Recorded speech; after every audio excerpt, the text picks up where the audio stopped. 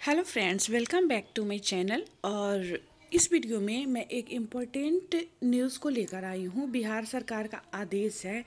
तो थोड़ा सा शुरू में जब मैं वीडियो को स्टार्ट करूँगी तो हो सके आप लोगों को लगे कि मैं मैं क्या दिखा रही है। लेकिन जब आप पूरा वीडियो देखेंगे ना, फिर पता चलेगा कि मैं क्यों आप लोगों को दिखा रही हूँ। तो आइए पूरे इस लेटर को, इस आदेश को देखते हैं। राज्य सरकार द्वारा प्रत्येक ग्राम पंचायत में उच्च माध्यमिक विद्यालय की स्थापना हेतु निर्णय लिया गया है। इस बात से हम सभी परिचित है कि जो बिहार की राज्य सरकार है, वो प्रत्येक पंचायत में एक उच्च माध्यमिक स्कूल की स्थापना की स्थापना करने का निर्णय ली हुई है।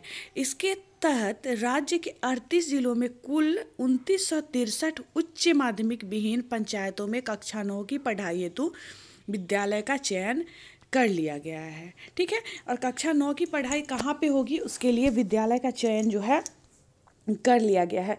तो ये न्यूज़ जो है, शिक्षकों के नियोजन से संबंधित क्यों होगा, इसके लिए आप लोगों को लास्ट तक इसको वॉच करना होगा। एक अप्रैल 2020 से कक्षा नौ की पढ़ाई सुनिश्चित कराने हेतु प्रत्येक ज़िले में संबंधित जिला पदाधिकारी एवं उसके अधीनस्थ पदाधिकारियों एवं कर्मियों के स्तर से कार्य आरंभ किए गए हैं। इसके साथ ही दो सौ छिहत्तर उत्क्रमित उच्च माध्यमिक विद्यालय, जहाँ वर्ग नौ का संचालन भी अप्रैल 2020 से प्रारंभ कराया जाना था, का सूक्ष्म अनुश्रवण निदेशक, माध्यमिक शिक्षा एवं राज्य परियोजना निदेशक स्तर से किया जा रहा है। कार्य को गति प्रदान करने हेतु प्रत्येक ज़िले में नोडल पदाधिकारियों को इंटर व मैट्रिक परीक्षा 2020 के समापन के पश्चात भेजकर मिशन मोड में अनुश्रवण कराए जाने का निर्णय लिया गया है।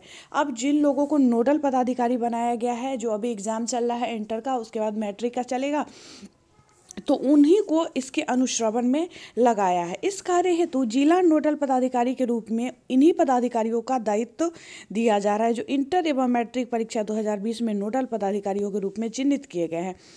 इस प्रकार प्रत्येक प्रमंडलों में विभाग की वरीयता पदाधिकारी को प्रखंड स्तर पर भ्रमण कर जिला स्तर पर किए जा रहे कार्यों का सूक्ष्म अनुश्रवण कराने का निर्णय लिया गया है। दोनों स्तर से संबंधित शिक्षा विभाग की पदाधिकारी दिनांक 25 दो 2020 से जिला एवं प्रमंडल स्तर पर सघन भ्रमण कर सूक्ष्म अनुश्रवण सुनिश्चित करेंगे। अनुश्रवण के क्रम में इस पत्र के साथ संलग्न बिंदुओं का अनुपालन करना सुनिश्चित होगा। वही बिंदु हम लोग देखेंगे कि इस, ये जो अनुश्रवण होगा, इसमें किस बिंदु पर ध्यान रखना ये तो फ़िलहाल नोडल पदाधिकारियों की सूची है, ये जो अभी स्क्रीन पे दिख रहा है तो इसको हम लोग नहीं देखेंगे इससे हम लोगों को मतलब नहीं है। ये भी जिला स्तरीय नोडल पदाधिकारियों पदाधिकारियों की सूची है। हर एक ज़िले का अलग अलग है। मुजफ्फरपुर का श्री विनोद कुमार शर्मा है, प्रचार्य डायट रामबाग मुजफ्फरपुर के। उनका फ़ोन नंबर भी दिया गया। इसी तरह सारे ज़िले का यहाँ पे है। लेकिन देखिए, अब इसमें क्या क्या दिया हुआ है? किन किन चीज़ों का अवलोकन करना है? इससे बहुत हद तक समझ में आता है कि सरकार जो है चाह क्या रही है? 25 अप्रैल 2020 से नौवीं वर्ग के संचालन के अनुश्रवण हेतु क्षेत्र भ्रमण के दौरान किए जाने वाले महत्वपूर्ण कार्यों के अनुश्रवण का बिंदु। पहला है, पंचायतवार माध्यमिक उच्च माध्यमिक विद्यालयों की सूची का अवलोकन। ठीक है? दूसरा है दूसरा है, एक सेकेंड।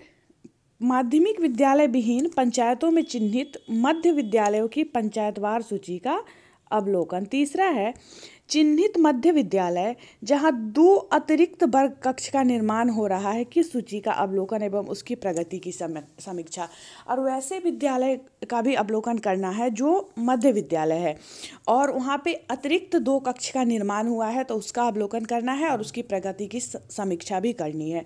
चिन्हित मध्य विद्यालय जहाँ एक अतिरिक्त वर्ग कक्ष का निर्माण हो रहा है उसकी सूची का अवलोकन एवं उसकी प्रगति की समीक्षा और जहाँ पे एक अतिरिक्त वर्ग कक्ष का भी निर्माण हो रहा है उस मध्य विद्यालय को भी चिन्हित करना है। चिन्हित मध्य विद्यालय में पद स्थापित स्नातक योग्यताधारी शिक्षकों की विषयवार सूची तैयार करना एवं समीक्षा करना। अब देखिए मैं इसीलिए बोल रही थी कि आखिर ये चाह क्या रही है सरकार? एक तरफ़ तो एस टी अभी ली है और एस का आ, रिज़ल्ट आने में तो पता नहीं अभी कितना देरी लगेगा, क्योंकि अभी तो जो एग्ज़ाम कैंसिल हुआ था, उनका एग्ज़ाम होगा, फिर मतलब बहुत प्रोसेस है, अभी टाइम लग जाएगा। लेकिन क्या ऐसा क्यों सरकार कर रही है, जो मिडिल स्कूल में स्नातक योग्यताधारी शिक्षक है, उनकी सूची क्यों तैयार करवाना चाह रही है? ठीक है? तो ये बात डाउट में डाल रहा है। इसके बाद छठा नंबर भी देखिए मतलब बहुत कुछ ऐसा आपको इसमें मिलेगा। माध्यमिक विद्यालय विहीन पंचायतों में अवस्थित मध्य विद्यालय में वर्ग आठ में अध्ययनरत छात्र छात्राओं की पंचायतवार कुल संख्या की समीक्षा। इसके बाद फिर देखिए, माध्यमिक विद्यालय विहीन पंचायत जिस प्रखंड में अवस्थित हो, उस प्रखंड के कार्यरत स्नातक योग्यताधारी शिक्षकों की विद्यालय बार एवं विषय बार सूची तैयार करवाने, करवाना एवं समीक्षा करना। ये क्या चाह रही है गवर्नमेंट? कि जो टीचर स्नातक है और मिडिल स्कूल में है, फ़िलहाल उन्हीं से काम चलवाया जाए। इसीलिए मध्य विद्यालय में जो शिक्षक स्नातक योग्यता प्राप्त किए हुए हैं, उनकी सूची ये तैयार करवाना चाह रही है। वो भी विषय बार कौन से शिक्षक किस विषय के हैं? अप्रैल 2020 में माध्यमिक विद्यालय विहीन पंचायत में चिन्हित एवं मध्य विद्यालय में स्मार्ट क्लास की तैयारी की विद्यालयवार सूची का अवलोकन करना। माध्यमिक विद्यालय विहीन पंचायतों में चिन्हित एवं मध्य विद्यालयवार स्नातक योग्यताधारी विषय पद स्थापित प्रतिनियुक्त किए जाने वाले शिक्षकों की सूची तैयार करवाना एवं समीक्षा करवाना। देखिए, नौ नौ नंबर पे भी वही बात दिया गया है कि विषय बार ये मांग रहा है डेटा शिक्षकों का। वर्ग नौ के संचालन हेतु फर्नीचर, उपस्कर की उपलब्धता, अधिष्ठापन की विद्यालयवार सूची तैयार करवाना एवं समीक्षा करवाना। ग्यारह तारीख के डेट में ये जारी किया गया है। निदेशक, प्रशासन सह अपर सचिव। अब देखिए, इस बात को मैं इसलिए बोल रही हूँ ना कि आखिर नियोजन तो कर सकती थी ना। हाई स्कूल में इतने सीट खाली है, इतने सारा हाई स्कूल बन रहे कितने दिन काम चलाएगी ये मिडिल स्कूल वाले शिक्षकों से वहाँ पे पठन पाठन करवा के? इससे अच्छा तो होता कि नियोजन कर देना चाहिए, क्योंकि उसमें तो और भी कोई झंझट नहीं है। जो एस लिया गया है, उसमें तो ऐसा माना जा रहा है। माना क्या जा रहा है? खुद वो बोले हैं, जो आनंद किशोर जी हैं। उनका कहना था कि सिर्फ़ टीटी के मार्क्स पे बहाली होगी, तब तो कोई समस्या ही नहीं है। लेकिन गवर्नमेंट चाह ही नहीं रही है कि नियोजन करवाया जाए। तो इस तरह का तरह की चीज़ें हमारे सामने आ रही है। तो यही जानकारियाँ थी जो मैं आप लोगों को देना चाहती थी।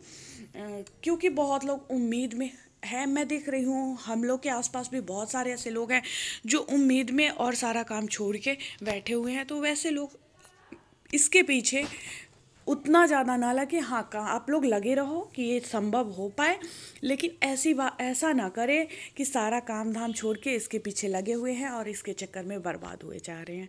तो ये मेरा एक सलाह था आप लोगों से, पसंद आए तो अच्छी बात है, ना पसंद आए तो भी कोई बात नहीं है। तो वीडियो पसंद आया होगा तो एक लाइक वीडियो को दे दीजिएगा और चैनल को सब्सक्राइब करिएगा अगर चैनल पे नए हो तो। हो सके तो व्हाट्सएप ग्रुप वगैरह फ्रेंड्स फैमिली के बीच शेयर भी करिएगा। वीडियो देखने के लिए बहुत बहुत धन्यवाद।